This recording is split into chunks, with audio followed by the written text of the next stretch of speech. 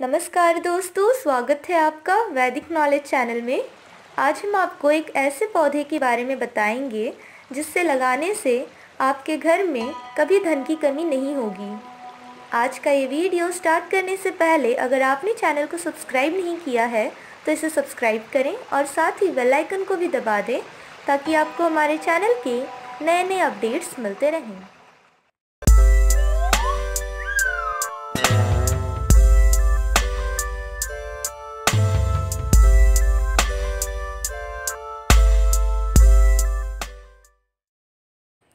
वास्तुशास्त्र में न सिर्फ़ दिशाओं का महत्व है, बल्कि घर के आसपास मौजूद हर एक चीज़ का भी होता है।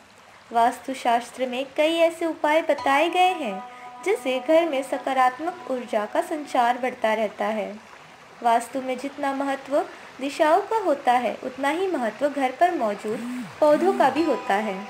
कुछ पौधे ऐसे होते हैं, जिसे घर पर लगाने से ऊर्जा के साथ धन में वृद्धि होती है। आम धारणा के मुताबिक, सुख समृद्धि और धन वृद्धि के लिए वैसे तो मनी प्लांट को लगाने की बात कही जाती है। लेकिन काफ़ी कम लोग यह जानते हैं कि इससे भी कारगर एक पौधा होता है, जिसे घर पर लगाने से धन की कमी कभी नहीं होती है। यह पौधा होता है क्रासुला का। क्रासुला को मनी ट्री भी कहा जाता है। फेंग शुई में इसका काफ़ी महत्व है। कहते हैं यह पौधा चुंबक की तरह पैसों को अपने ओर खींचता है।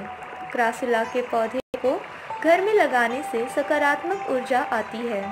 वास्तुशास्त्र में माना जाता है कि इस पौधे को रखने से घर में धन वृद्धि होती है। यह छोटा सा मखमली पौधा गहरे हरे रंग का होता है। इसकी पत्तियाँ चौड़ी होती हैं और यह फैलावदार होता है। इसे लगाने में ज़्यादा मेहनत नहीं लगती। इसका पौधा खरीदते, खरीद के किसी गमले या ज़मीन में लगा दें। फिर यह अपने आप फैलता रहेगा। इसे धूप या छाव कहीं भी लगाया जा सकता है। इस पौधे के बारे में मान्यता है कि यह सकारात्मक ऊर्जा और धन को अपने पास खींचता है। इसे घर के मुख्य द्वार के दाई तरफ़ लगाएँ। फिर देखिए, कैसे आपके घर में धन की वर्षा होने लगेगी। ये थी जानकारी क्रासुला प्लांट के बारे में। अगर आपको ये वीडियो पसंद आया हो तो प्लीज़ उस वीडियो को लाइक करें शेयर करें और कमेंट करें। धन्यवाद।